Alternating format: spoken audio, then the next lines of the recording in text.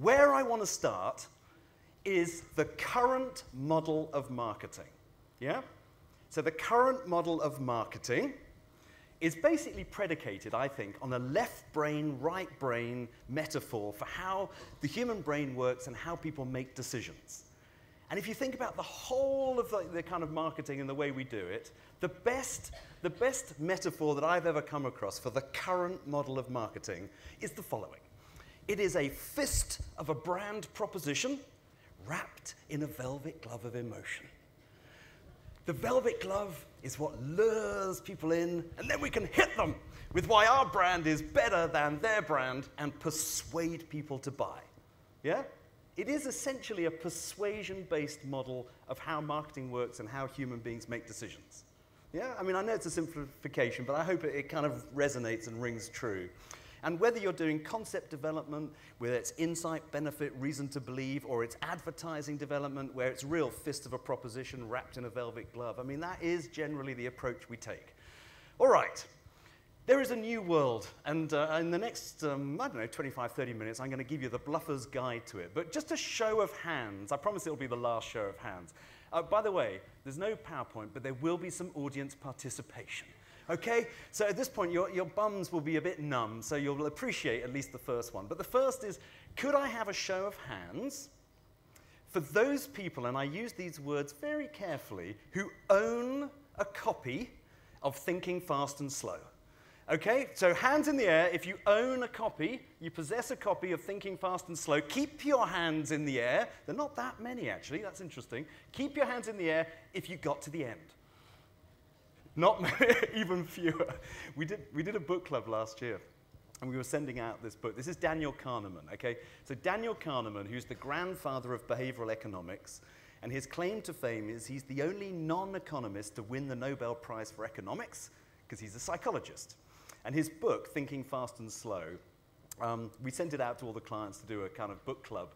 And I realized pretty quickly that it gets heavy going after about page 100.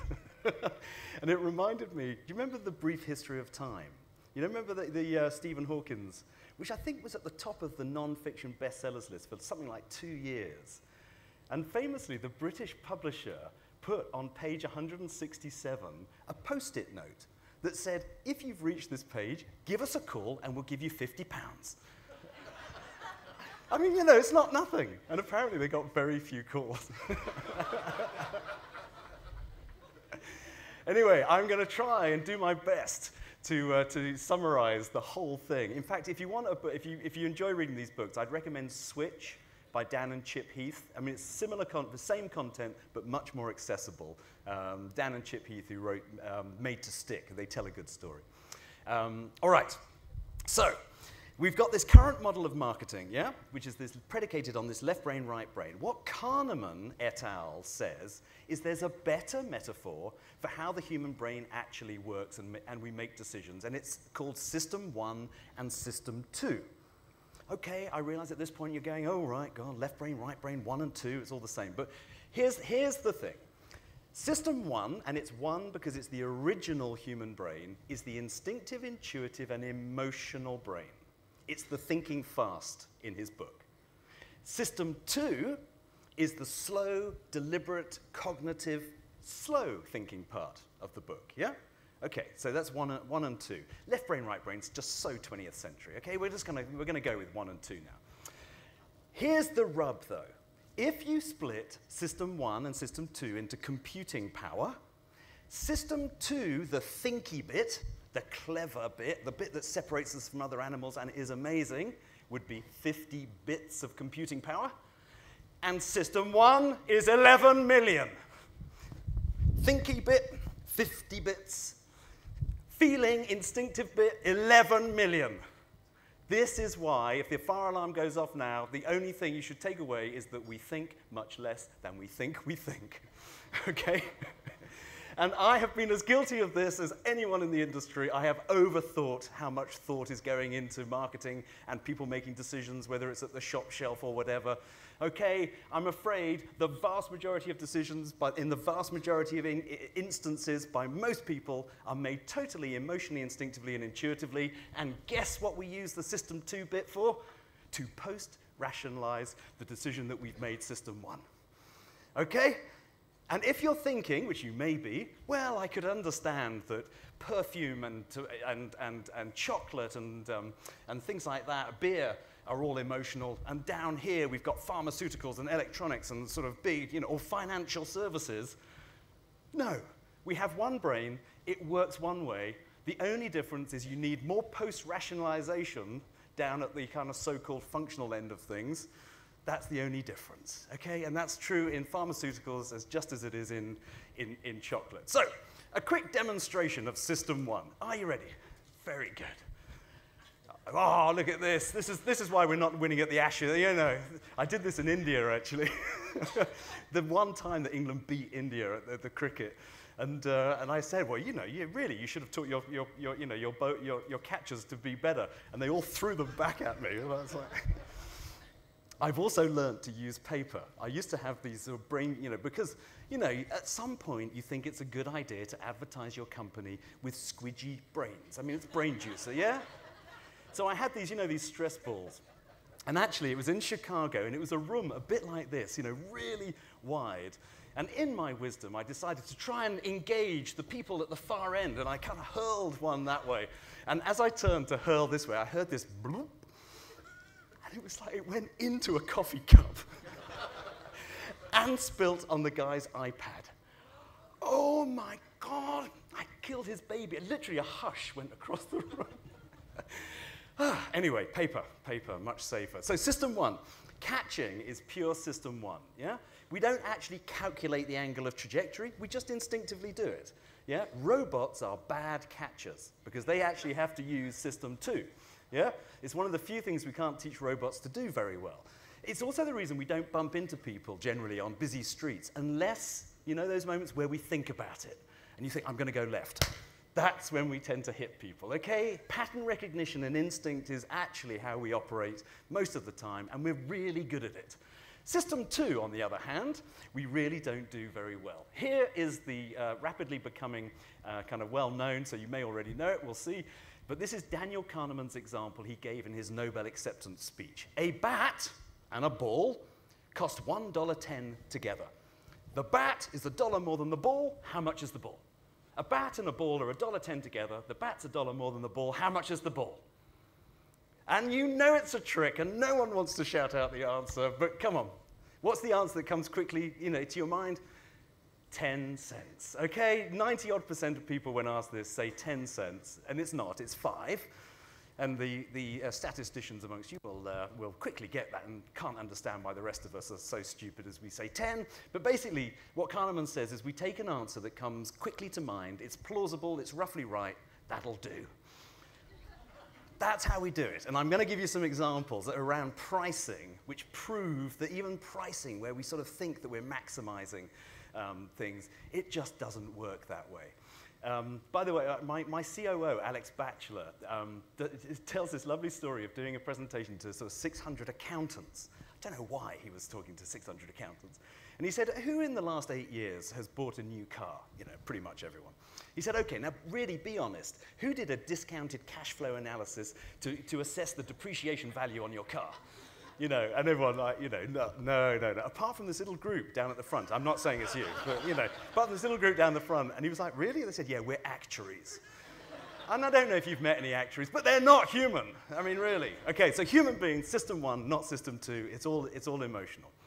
So what I'm going to do is, is um, I don't know if, if any of you enjoy reading these sorts of books like Nudge and The Herd and, you know, kind of thinking fast and slow. But if you're anything like me, you know, I'm there and I'm reading one particular brilliant experiment anecdote.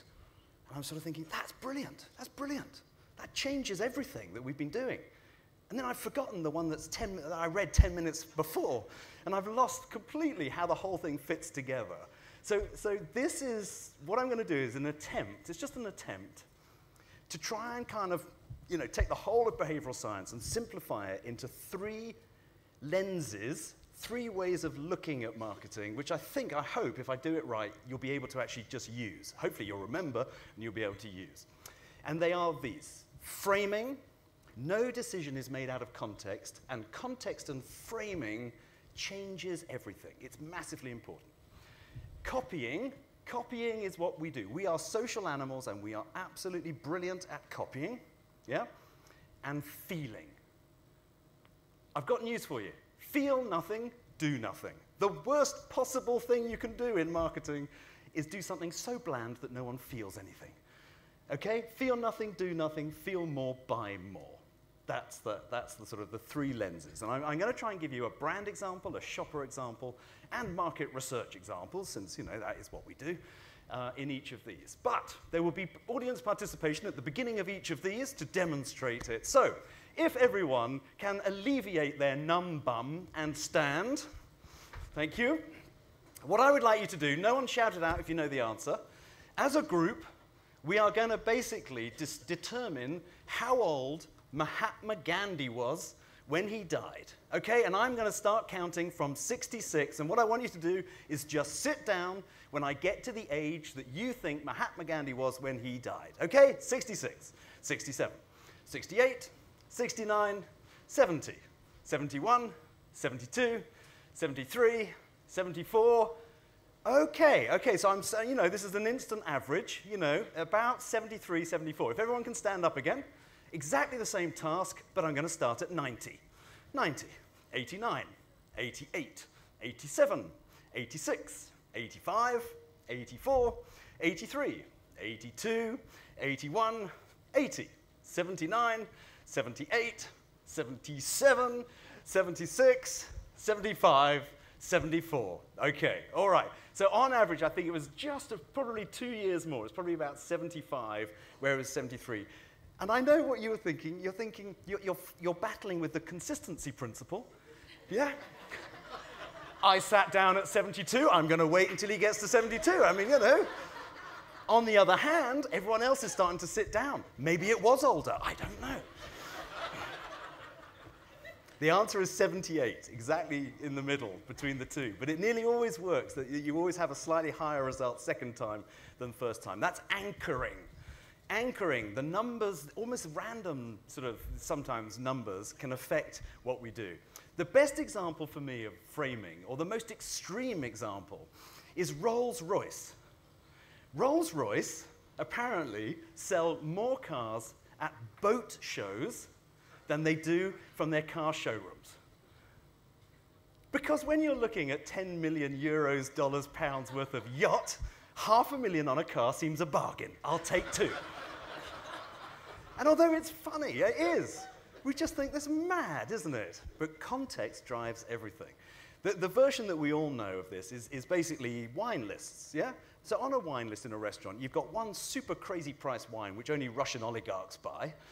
And basically, you've got the house wine, which the Dutch buy. Yeah, that's, you know. By the way, I am going to try and insult all nations equally by the time we get, you know, to one, one o'clock. You know, I don't want you to feel left out. But yeah, so, so context drives everything. The example I'm going to give you um, is pricing. I want to do a pricing example just because the more I sort of talk about this and the more you get into it with clients, it's almost a bit like I said, people believe that it works for chocolate and perfume, but find it harder to believe that it works for high tech and pharmaceutical.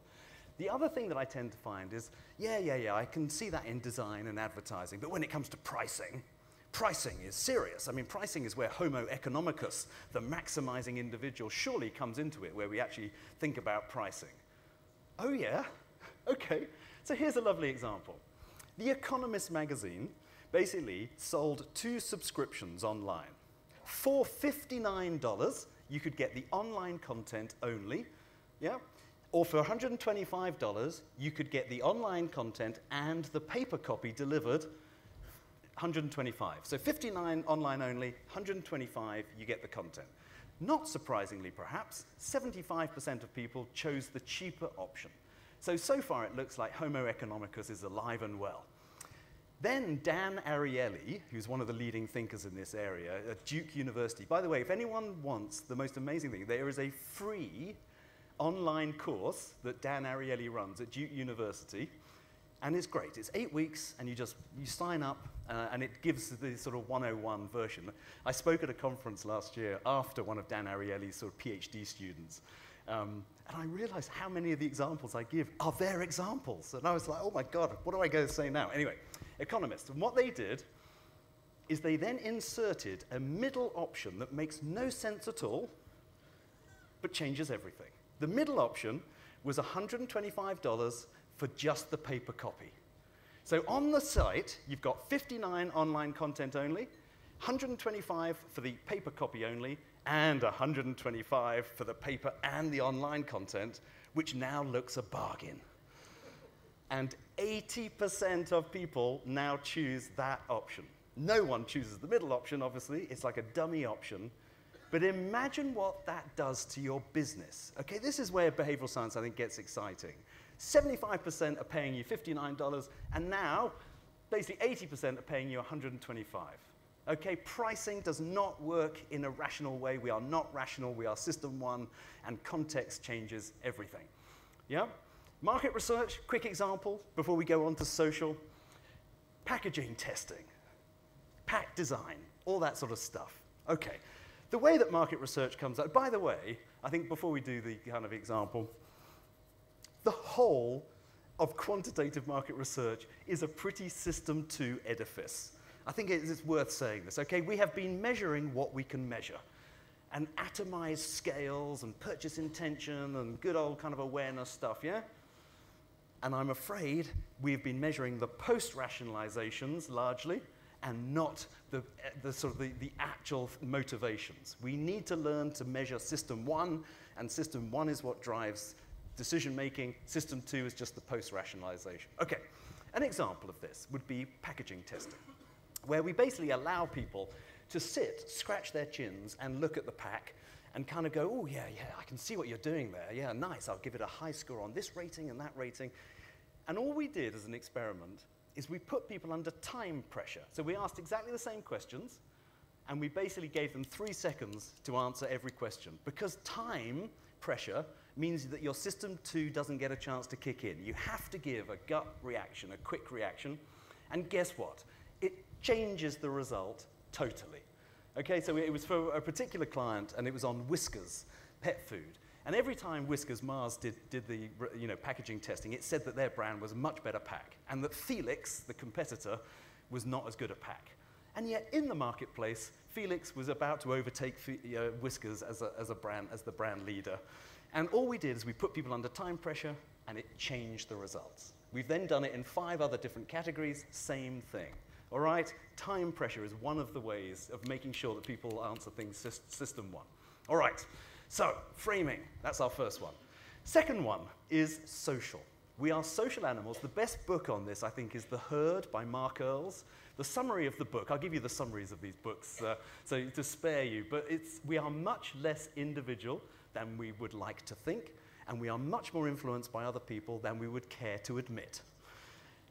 We're going to do a little demonstration. If everyone would like to stand up, and this time I want you to find a partner and uh, turn towards your partner. Now, now we're going to get very friendly. I would like you to stare lovingly into their eyes. No, no, no. No, I would like you to hold each other's elbows, okay? I want you to hold your partner's elbows, and I have a challenge for you, which is you have to get your partner off the ground as many times as you can in the next 30 seconds. Go!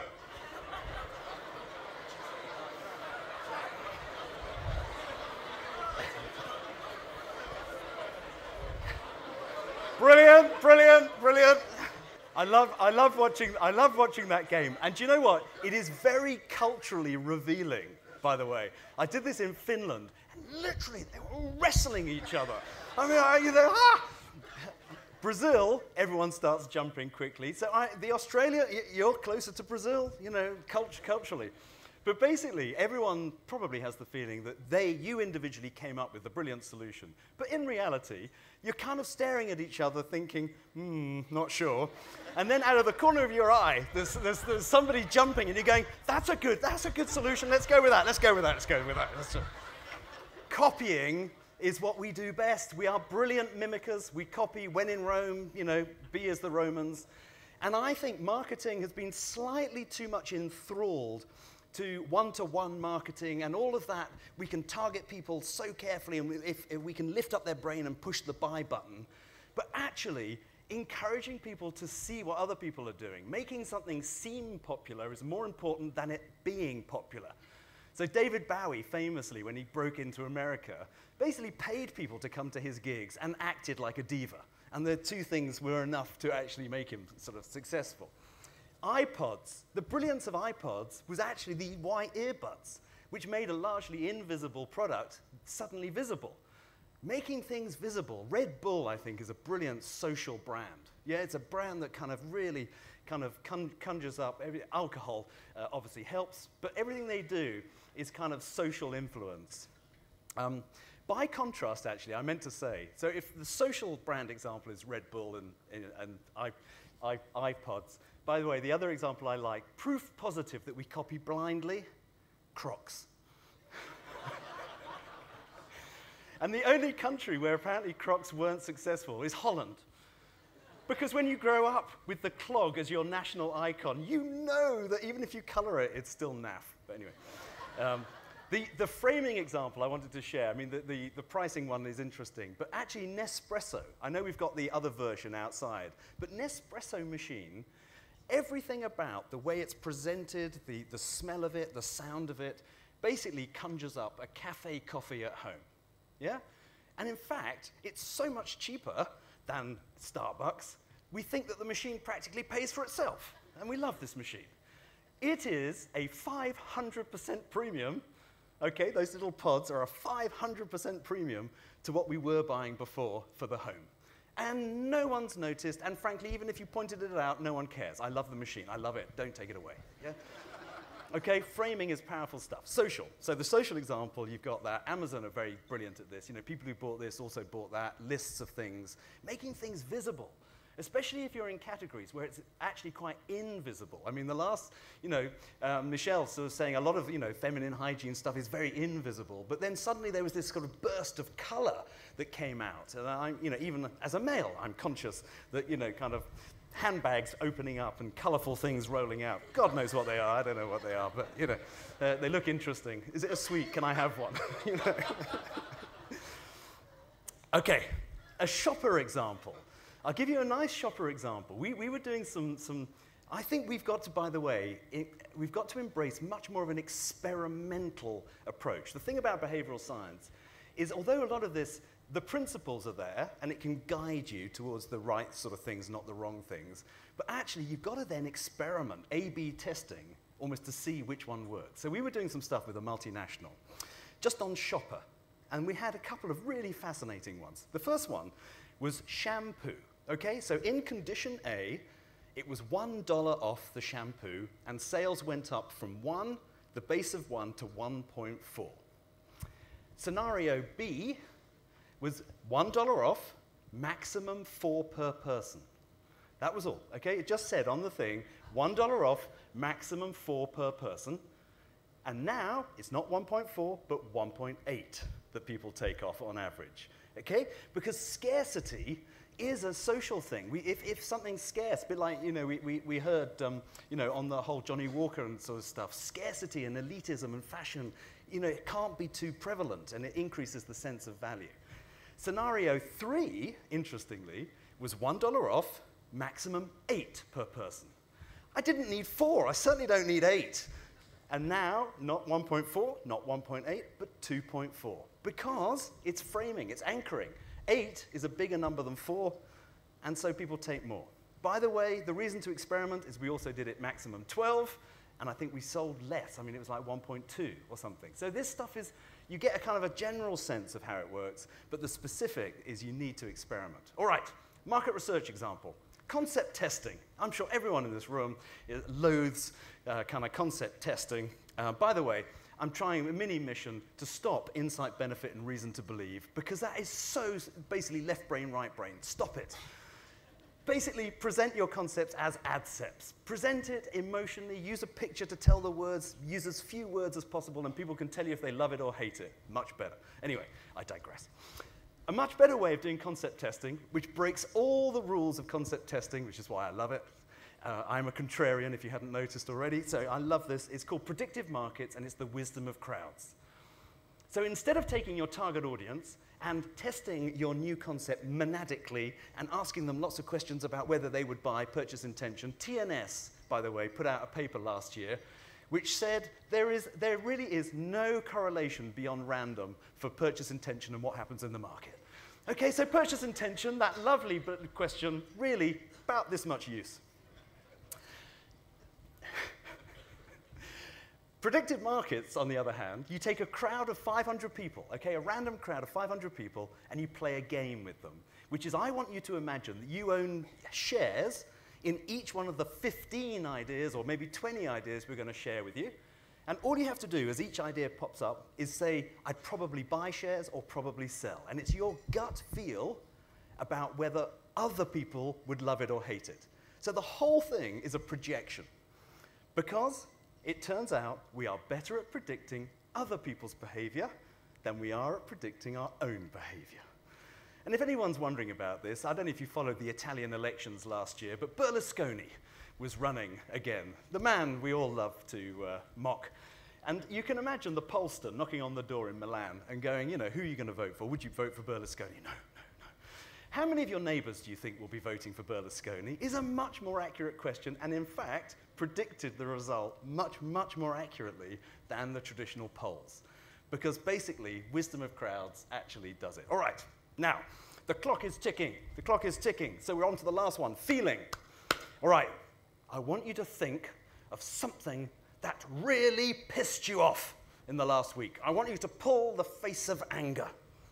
Come on, furrow the brows. I want it. Come, no, far too many smiles. Come on, I want anger. Give me anger. Pull the face because apparently the actual moving of the muscles will start to make you feel that. Okay, so we better stop. All right, now, now, now, happiness. Okay, big smile, big smile, and a little chuckle. okay, so this, this uh, feeling, the thing about feeling is it's really what drives marketing. And we need to do marketing that is more about feeling, making people feel something overwhelming. And the reason that this is interesting and the reason that it's controversial is because I think that advertising has been enthralled to what I call three star marketing, and it's basically a triangle that sounds plausible of measures, but just isn't, okay?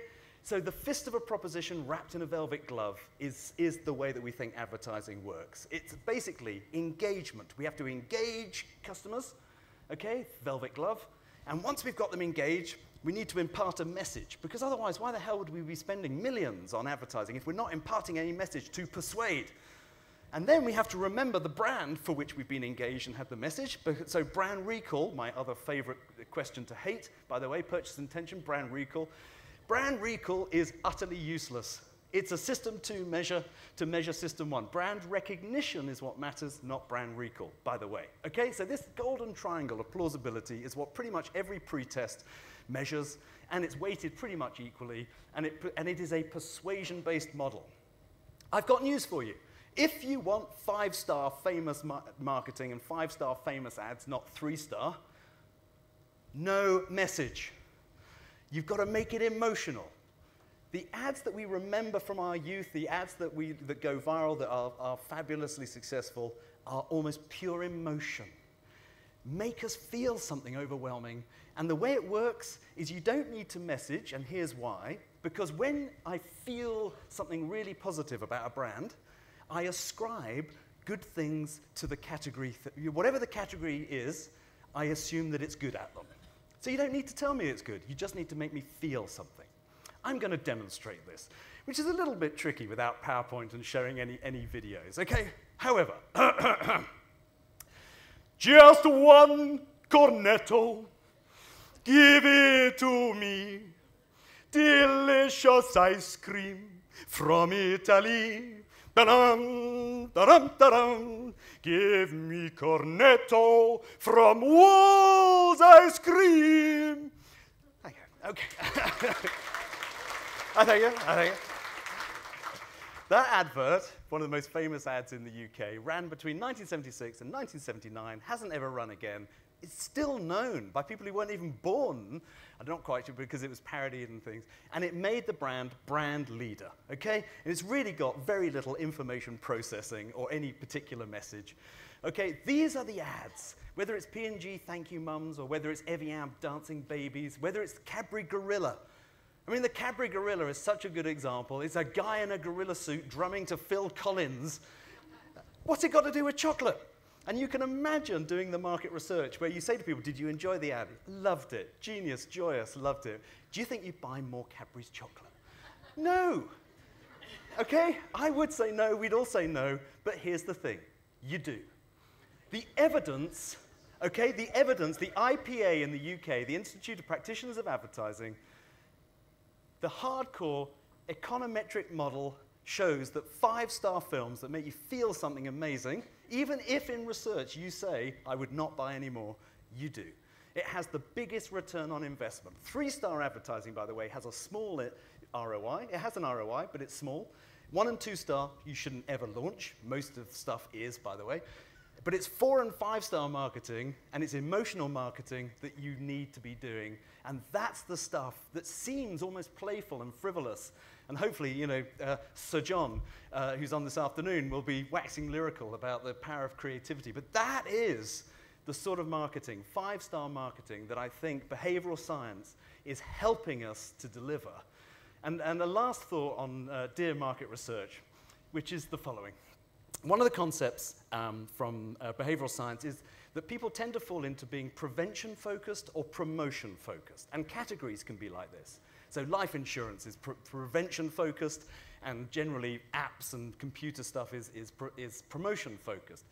But I would say my observation is that market research has been a prevention focused category. In fact, my first boss at Unilever, when I was getting excited about something, which you may have told, I can get excited about things, and I was getting excited about something, he said, John, John, really frustrating. You have to realize that our job in research is to stop marketing doing stupid things. and he said it genuinely, seriously, that is what he, you know, he saw the job as. And I think it's gone on for too long. Okay? It's not actually helping that much. And I think behavioral science is giving us an opportunity to be promotion focused, to actually you know, put these concepts and ideas into, into the, you know, the workplace and help marketing do famous five-star marketing. Okay, the final bit I would like to do with you um, is, is, I think this, this is your, your reward for lunch. Okay, lunch is beckoning. However, you have to do something for it. So from the end here, we're going to start here, and what I would like you to do is the Mexican wave, okay? The Mexican wave, a little bit of social dynamics to finish. And what the thing is, as you do it, you'd stand up and do it, I'd like you to shout lunch, okay? So starting from over there, the Mexican wave, are you ready? One, two, three, go.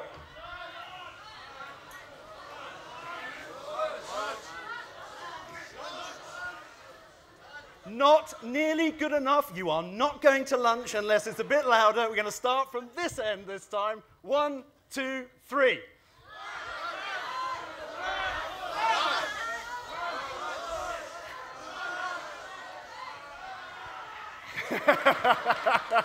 Somebody's really hungry. Thank you. Thank you.